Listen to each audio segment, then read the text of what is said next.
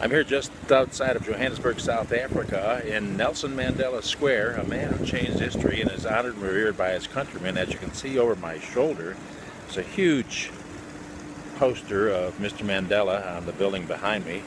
And if we come around this way, all kinds of restaurants and places, and a huge mall.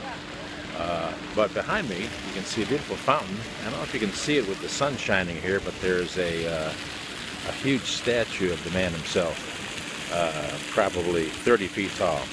And again, a man who is loved by his people and made a statement for the world that has had a huge impact on the way people think about how governments should be run and how lives should be lived.